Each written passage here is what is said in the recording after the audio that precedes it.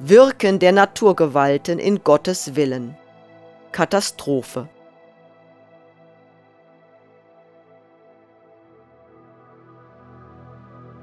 Für den Lebensweg des Menschen gelten immer die Gesetze, die Gott von Anbeginn der Welt als nötig zur geistigen Entwicklung den Wesen gegeben hat.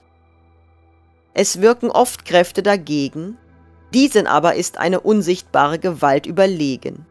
Sie werden immer die Auswirkungen ihres Zuwiderhandelns als nachteilig für sich selbst verspüren und entweder sich umkehren zu gottgewollter Tätigkeit oder im Verharren ihrer Bösartigkeit immer stärker die Macht Gottes zu fühlen bekommen.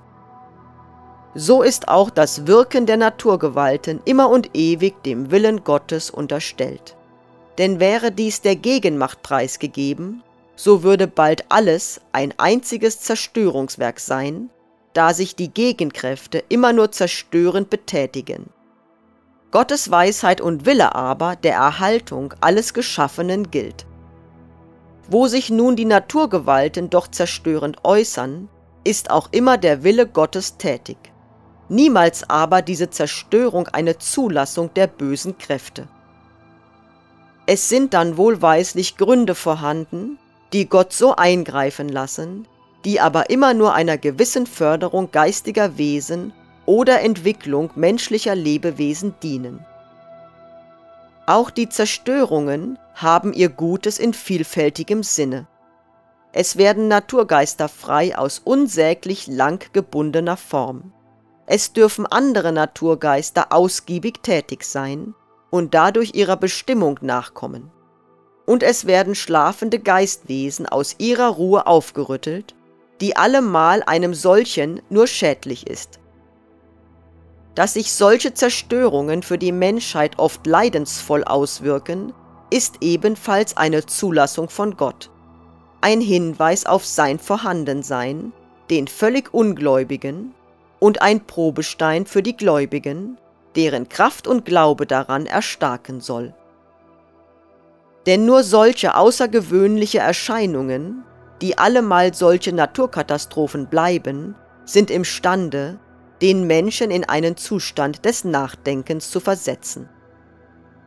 Wenn alle Macht der Menschen nicht ausreichend ist, Einhalt zu gebieten, und arm und reich, hoch und niedrig ganz gleich, solchen gottgewollten Katastrophen ausgesetzt sind, so bleibt doch in dem einen oder dem anderen die Frage offen, wozu ein solches Strafgericht die Menschen betrifft und wie weit eine göttliche Macht erkennbar ist.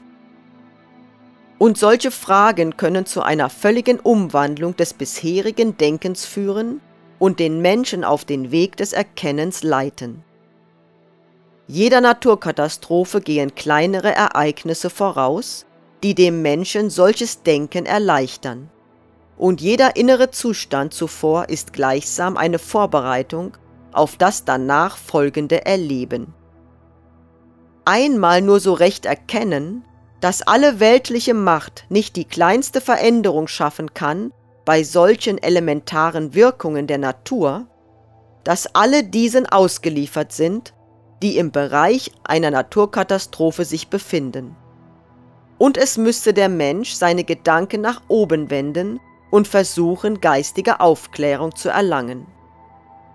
Doch die Menschheit ist in ihrem Dünkel schon zu weit vorgeschritten. Sie setzt allenfalls noch für solches augenscheinliches Wirken der ewigen Gottheit das Wort Wirken der Naturkräfte und sucht damit alles abzutun, was ihrer geistigen Einstellung nicht behagen will.